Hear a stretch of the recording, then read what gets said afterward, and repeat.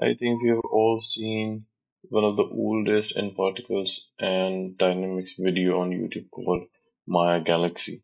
And today we are going to be recreating that effect with the same idea. Now it is one of the oldest tutorials regarding the N particles and dynamics and it is pretty amazing. So we are going to be using that technique as well with some new adaptive things that we can do with that kind of similar effect.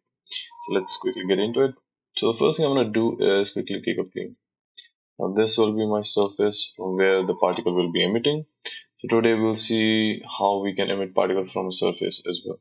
So I'm going to scale this up to create basically a photo frame. Something like this. Alright. And I don't need that many subdivisions, so I'm going to keep it something like this. Once once you're done with this, simply J and I'm going to rotate this to about 90 degrees. Bring this up and bring this somewhere backwards. Alright, so once you're done with this, you can simply go to effects menu and we can get into the N particles. Now before getting into N particles, we have to do one thing which is creating our image. So I'm here in Photoshop and as you can see I have a painting of Mona Lisa. So what we have to do is create a bump map or you can say a emission rate image. So for that we have to create a black and white image. So what I'm going to do is quickly go to filters and I'm going to take a simple hue saturation. You can also go to image adjustment and you can desaturate it as well. So I'm going to select this and uh, quickly desaturate this and I'm also going to play with some levels to get more better result. Let's make it somewhere about here and something like this. Alright, so this looks pretty good to me. I'm gonna just adjust it somewhere here and I'm gonna save this in JPEG mode.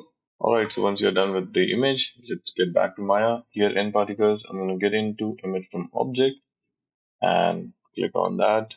Go to attribute and here if I play this, you'll notice that particles are being emitted from the points or all the corners.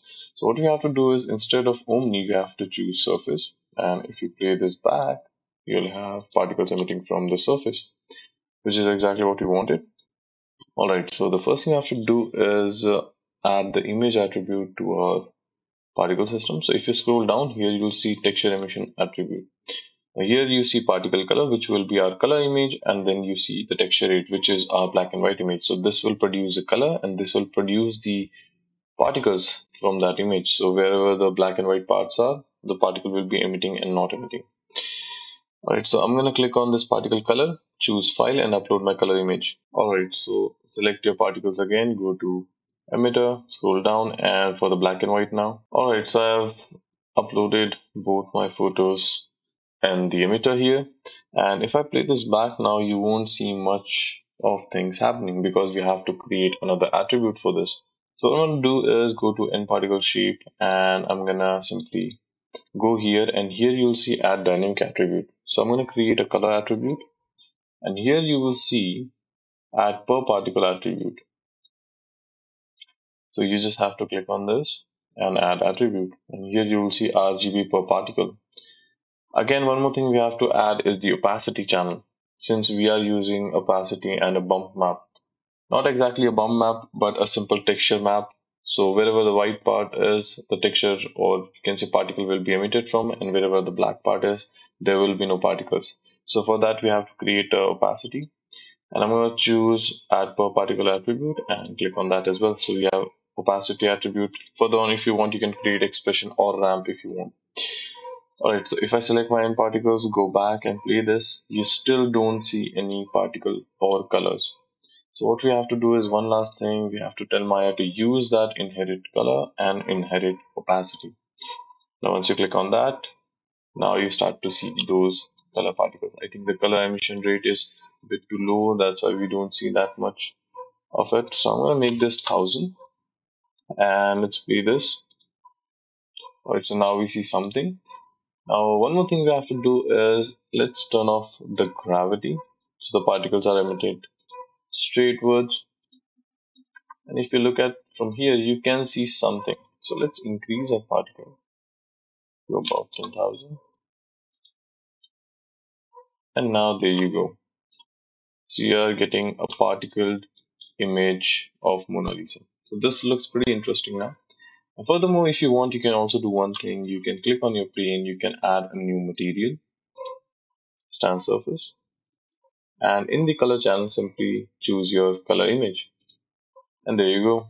So if I play this now, you can see we have our image as well and our particles as well.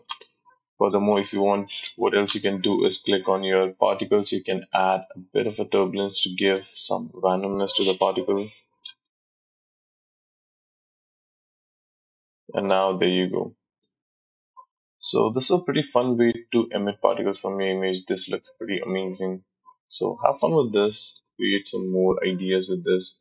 If you want, what else you can do is you can Select your particles, go to the nucleus, add some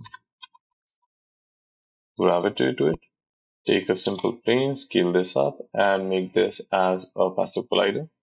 Now if you go back and play this, the particles are being collided here, which is pretty amazing as well if you look at the end result here. So you can see we have a bit of a collision problem here. To fix that, you can simply go to the collision thickness. And as you can see, the collision thickness is a bit too high for the plane overall. So I'm going to make this somewhere about 20. And if we off and play this again, you have much better simulation going on. So I'm to select this and maybe like make this one. And also, let's add a bit more bounciness here to 28 all right and let's make the solver substep value to somewhere about 8 as well. This will just help with the collision. Turn off the grid. And also let's take select your particles. Let's take a simple vortex. And now hit play all right so i think the bounciness is a bit too much but um, yeah not bad. I think i'm going to increase the magnitude on the vortex field. And now you can see the particles are being driven by the vortex.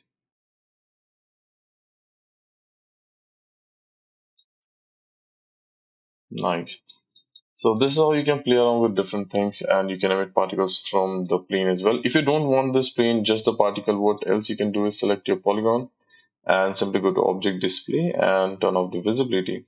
And if you play this now what you'll have is just the particles. And if you don't want the particles to be falling down turn off the gravity and you are good to go.